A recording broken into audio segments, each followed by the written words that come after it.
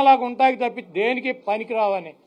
ఆ చంద్రబాబు నాయుడు నిన్న అన్ని లక్షల రూపాయలు అన్ని కోట్ల రూపాయలు ఖర్చు పెట్టి సభ ఏర్పాటు చేసి ఇంకో పుత్రుణ్ణి దగ్గరికి చేర్చుకుని ఈ రాష్ట్రంలో ఒకటే కార్యక్రమం అంట. అన్ని పార్టీలని కలిపేస్తాడంట పవన్ కళ్యాణ్ గారు. అందరికీ నమస్కారాలు పెట్టాడు. పెట్టి ఓటు చీలకూడదు. అందరం కలిసి జగన్మోహన్ రెడ్డి గారిని ఓడించాలి.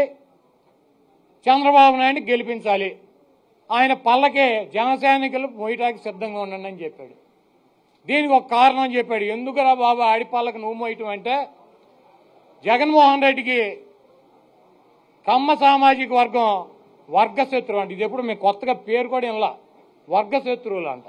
మీరు ఎవరు నిన్నాడు మీడియా వాళ్ళు? మేము వర్గశత్రువులు అంట జగన్మోహన్ రెడ్డి గారికి.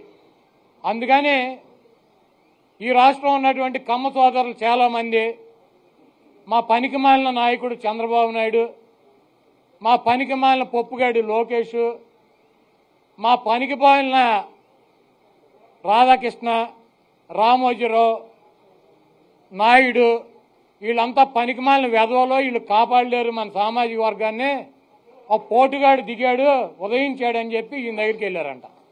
వెళ్ళి మమ్మల్ని రక్షించమని చెప్పి అడిగారంట. మేము వర్గశత్రువులు మమ్మల్ని రక్షించమని అడిగితే ఇప్పుడు ఆయన చెప్తాడు జన సైనికులందరూ రెడీగా ఉండండి.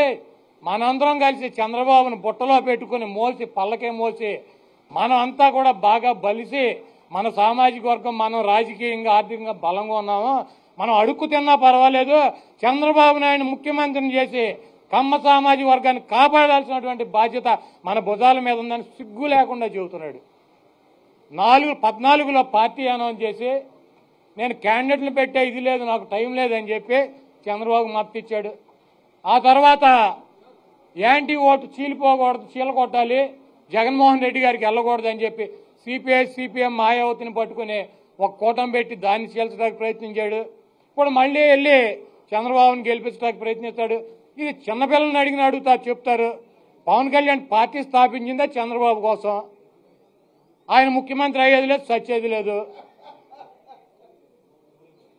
చంద్రబాబు నాయుడిని ముఖ్యమంత్రిని చేయటానికి చంద్రబాబు నాయుడు ముఖ్యమంత్రి చేయడానికి జనసేన ఎందుకు? ఈయనే ఆయన పార్టీలో చేరిపోతే అయిపోయేది కదా. కాబట్టి ఇటువంటి వ్యక్తులు జగన్మోహన్ రెడ్డి గారిని ఏం చేయలేరు. మొన్న అచ్చెన్నాయుడు ఆంబోతులాగా